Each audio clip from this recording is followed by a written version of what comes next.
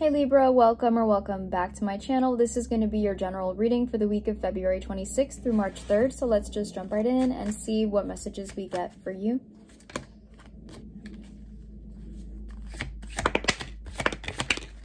All right, so we have the King of Cups at the bottom of the deck. I feel like someone wants to come towards you, Libra. I feel like you could already be in contact with this person. Maybe you are in a relationship, but I feel like someone has a lot of things that they want to express, share with you. Um, we have the Hanged Man, the Lovers, which is Gemini, and the Five of Wands. There's an internal conflict here. I feel like part of you is hesitant in letting this person in or going towards this connection because there's something about it that makes you feel like you don't have enough um, evidence, information. It's like there's something missing here for you. I feel like you are wanting to lean into it, wanting to trust this person, but there's something about it that makes you makes you feel um, kind of like you have to take a step back.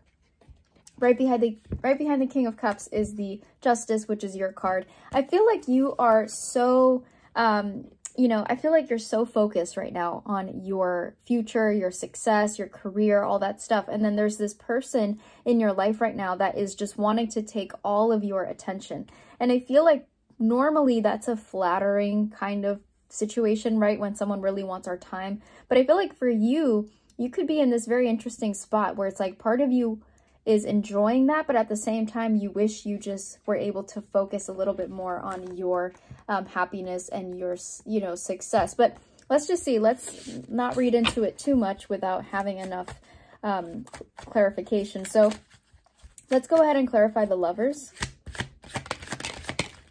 Right, we have the Hermit. You could be connecting to a Virgo. Um, we also have the High Priestess, Nine of Wands, and the Justice. So your energy is officially coming through here. I feel like your intuition is saying tread carefully.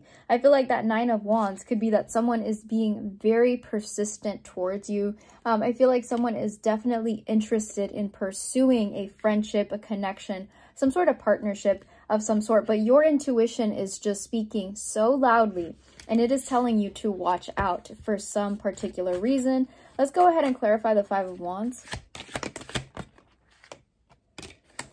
Knight of Swords. I feel like part of you wants this to work, but it could be moving too quickly for your personal preference.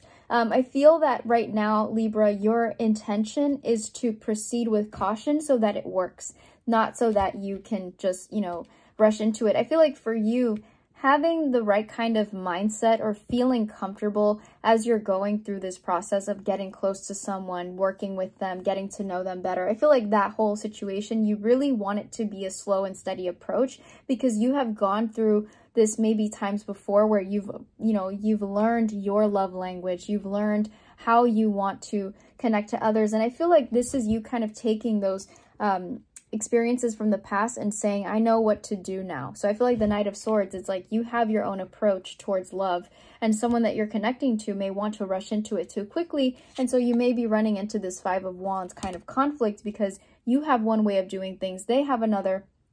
Um, and you don't want to completely take yourself out of the equation, but maybe you wish there was a, a gray area or some sort of common ground where the two of you can compromise on how to move forward. We have the Four of Wands, the Eight of Pentacles and the Seven of Wands. So again, there's definitely some potential here. I feel like the Eight of Pentacles is proof that this could very well work.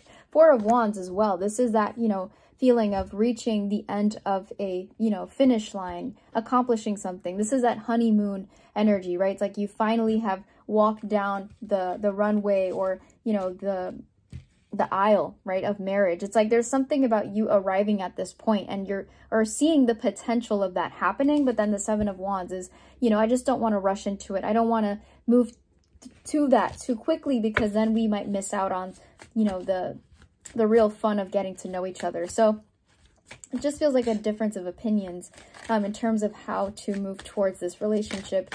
I feel like this week, though, you are addressing this because um, I feel like it's been on your mind for a while, but it feels like this week you're actually saying it out loud and having a conversation about it. Um, let's clarify the Hanged Man.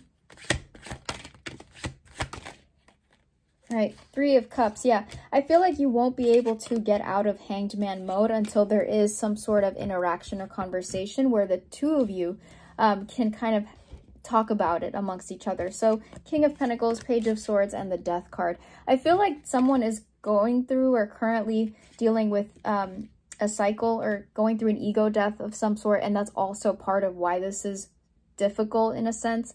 Um, because even though there is potential, there is love, there is a desire for connection, someone is going through something internally, and that could be affecting just the overall connection or the rate at which things are going. I feel like Page of Swords could be that someone is still looking for the truth or still trying to figure something out in their own personal life.